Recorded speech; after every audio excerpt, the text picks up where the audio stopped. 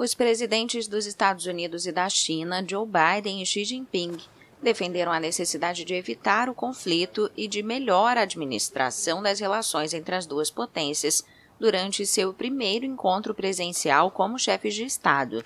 Depois de vários anos de crescentes tensões econômicas e geopolíticas, os presidentes das duas maiores economias do planeta apertaram as mãos no início da reunião na ilha indonésia de Bali, na véspera do encontro de cúpula do G20. Xi afirmou que é preciso encontrar o caminho correto para as relações, enquanto Biden se declarou disposto a manter uma conversa sincera sobre temas estratégicos. Também enfatizou a importância do encontro presencial depois de várias conversas por telefone ou videoconferência desde que chegou à Casa Branca em janeiro de 2021 o presidente americano se comprometeu a manter as linhas de comunicação abertas. whoa.